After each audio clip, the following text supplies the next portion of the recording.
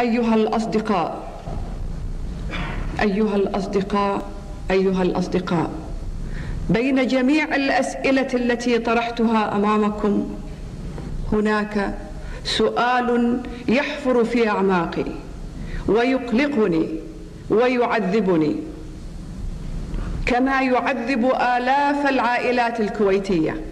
التي لا تزال تنتظر أبنائها الضائعين في متاهات السراديب والسجون العراقية. وبرغم كل المداخلات الدولية ومحاولات المنظمات العالمية لحقوق الإنسان فإن النظام العراقي لا يزال يمارس ساديته وغرائزه الدموية على أولادنا دون أن يرتدع أو يتعلم شيئا من الكارثة الكبرى التي نزلت على رأس العرب جميعا. ولما كان هذا المؤتمر يضم الطليعة الثقافية العربية التي تحمل على كاهلها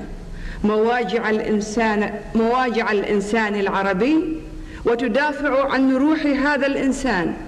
وجسده وحريته ومثله العليا فإن فإنني أتمنى أن يكون بين توصيات هذا المؤتمر توصية خاصة تنادي بالدفاع عن الأسرى الكويتيين في السجون العراقية. كما أتمنى أن تكون قضية هؤلاء الضائعين بين الموت والحياة قضية كل المثقفين العرب لأن الالتزام بحرية الإنسان هو الشرط الأول للفكر والكتابة والإبداع.